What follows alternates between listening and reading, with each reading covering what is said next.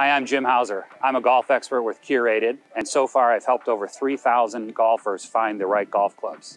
And today we're talking about the Cobra Forged Tec iron for 2022.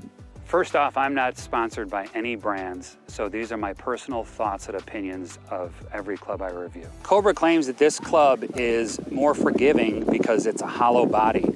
Now, it is designed like a muscle back forged blade, because it's hollow and it has microspheres inside the club, as you can see, there's a port here. It's very forgiving. And I just hit this club and it is what they claim it is. So with this Cobra Forged Tec that I hit today, it is um, a seven iron. It came with the KBS S-Taper light shaft. My first impression of the club is that it looked like a blade. It looks like a player's iron, but it really has the feel of a game improvement iron. So it's kind of the best of both worlds. So Cobra's made this club with a forged PowerShell face, which makes the club particularly forgiving. They've also, of course, made it hollow, as we've talked about, and they've added tungsten to make the club much more forgiving and increase the moment of inertia of the club. I found the club's distance was very good. Um, in fact, we're hitting into a pretty strong wind and almost getting normal distances. So uh, the lofts are a little bit strong, but that works because they put the tungsten low in the head and it can launch the ball higher. With the stronger lofts, it goes further than a, a lot of irons that are like this. So the distance claims seem to be real. I actually found the club very forgiving. There were a, a few shots, like we all are human, that I hit out on the toe, a few into the heel, but um, the club was very forgiving. There was not a whole lot of fall off in distance when we didn't hit the center of the face. This club is very workable because it is forged. A forged club will keep the ball on the face a few milliseconds longer, which lets you actually spin it left or right.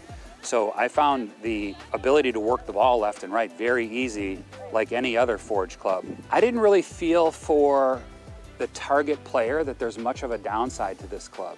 In fact, normally a club like this does not appeal to a lot of players because it's a little bit smaller head, but this particular club, because they've built in the features that make it more forgiving and playable, I don't see any downsides. It's long, it spins, it feels great. Uh, they've built a great product here. The look at address on this club is very, very traditional. Um, they've also redone the back of the club this year to make it look like a more traditional muscle back. What I did find to be nice about this club, even though it does look like a player's iron, is that the sole is a little bit wider. So that gives you a little bit more margin for error on different types of grass.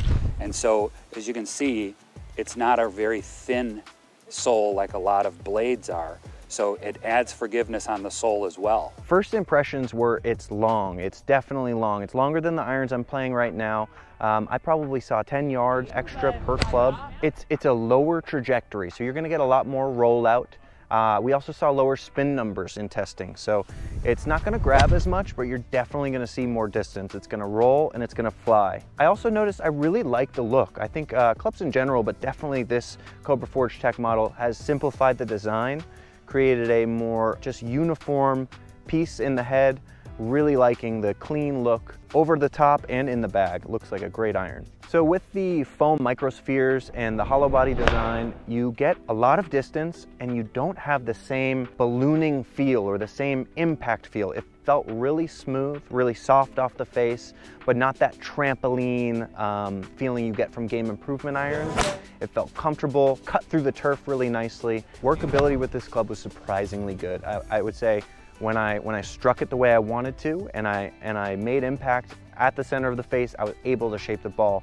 That being said, when you do miss the face, it does sort of just go straight. So if you're trying to work a shot, you need to be a confident ball striker. If you do miss the face, it's not going to be as workable as you may want. Whether you see it as a downfall for a seven iron, I did not see the height that I normally see from a seven iron. So if you're a player that already hits it low, maybe lean toward toward an iron that has a higher launch. These are definitely gonna be a low launching, mid to low ball flight. For the speeds for this iron, um, very standard to what I'm used to, to see. Seven iron was right around 100 miles per hour club head and uh, 130, 135 ball speed, which is right where I see it. Players distance irons shoot off the face a little bit. Um, again, I think this has more rollout than speed. With the same, with all the flight patterns we're seeing with this club, lower spin. It's gonna, it's gonna stay low. Uh, spin causes the ball to sort of raise up in the air, and, and this was definitely a lower flight, lower spin club, and that's gonna allow for the more rollout and more distance. Again, it's not gonna grab on the greens as some irons might. There are two sides to uh, how people might view the, the, the look of this club. It has a thin top line, so that might scare away some higher handicaps. I also don't think it's thin, as thin of a top line as some of the really good players might like in a blade or some sort of that iron. It's right in that middle sweet spot where I think a lot of golfers fall, anywhere from your higher single digit handicaps to 15, maybe up there. Uh, this is a great looking, comfortable club to hit. Compared to some other irons that have hit recently, this doesn't have a ton of feel. It's, it's a little bit muted, uh, and the sound, same thing. It's, it's a muted sound.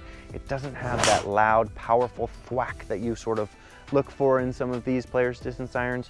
That being said, the performance uh, might outweigh some of the sound and feel. The biggest drawback to this iron is going to be the low ball flight. If you need to get up and over something and you long way to the green or you just tend to play a lower ball flight in general, this, this club won't get the ball up in the air as fast as others will. Spin numbers as well. If you need to play a green that you want to hit the ball and have it stop and land on the green or just roll out at five yards, this is gonna have a lot more rollout and you might need to play for that. I would recommend this club to anyone between a you know higher single digit handicap, somewhere around seven to eight to up to 15. It's got a wide range of people who might enjoy it. It's clean looking, so if you like a club that looks good in your bag, um, as well as long. If you're looking for more distance, this club is for you. Someone that might want to avoid this club would be someone looking for a lot more forgiveness, looking for just a straight higher ball flight, or someone looking for a club with more spin. And if you'd like to chat with me personally to get you fit for the right gear for you, uh, please visit the link in the description and find my profile on curated.com. And if you like this video, hit the subscribe button for more content from Curated.